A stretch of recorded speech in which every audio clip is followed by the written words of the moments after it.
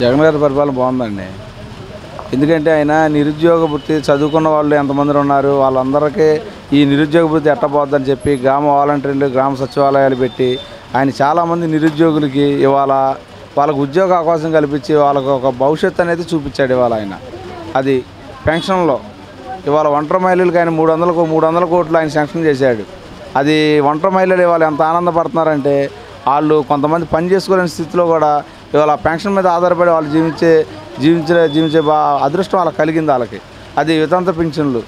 ఆ పింఛన్లు అరవై సంవత్సరాలు ఇచ్చిన వృద్ధాప్య పింఛను తర్వాత నలభై ఐదు సంవత్సరాలకు పెట్టిన పెన్షన్లు కానీ ఇది ఆయన ఈ పేదలను ఆలోచించి చాలా కృషి చేసినట్టే దీనికి. అదండి. తర్వాత అమ్మఒడి పథకం.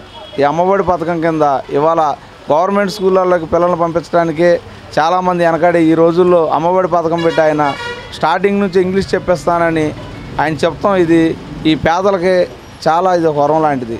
అమ్మఒడి పథకంలో ఇవాళ చాలామంది ప్రైవేట్ స్కూల్లో చేర్పించే వాళ్ళని కూడా ఆపిచ్చేసి గవర్నమెంట్ స్కూల్లో పంపిస్తున్నారు. ఇట్లా ఈయన రెండు సంవత్సరాల్లో కానీ ఇది అభివృద్ధి చేయగలిగితే కార్పొరేట్ స్కూల్ అనేవి ఇంకెక్కడా ఉండవు. ఇది జగన్మోహన్ రెడ్డి గారి పరిపాలన చాలా బాగుంది. గారి కంటే ఎక్కువ చేస్తారు. ఎందుకంటే ఆయన తండ్రి గారు కొంత చేశారు.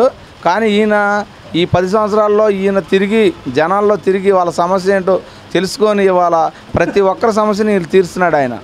ఎందుకంటే జనాల్లోకి వచ్చాడు ఆయన. మన బాధలు ఏంటనేది ఆయన చెప్పాం మనం. అవన్నీ తీరుస్తాడు ఆయన.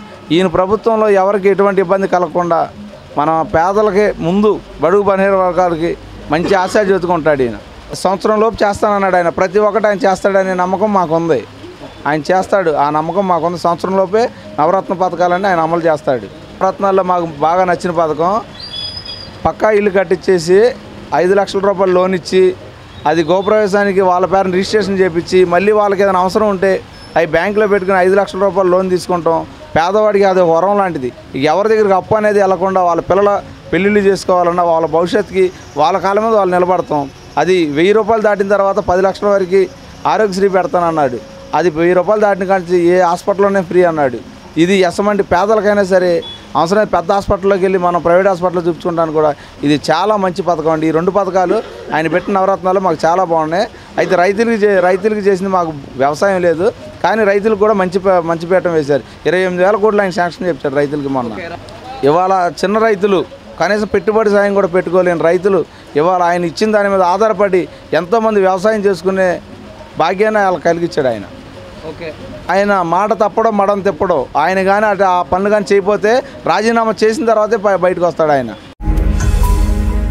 ఈ వీడియో గనుక మీకు నచ్చినట్లయితే లైక్ చేయండి షేర్ చేయండి. మరిన్ని వీడియోస్ కోసం మా ఛానల్ను సబ్స్క్రైబ్ చేయండి.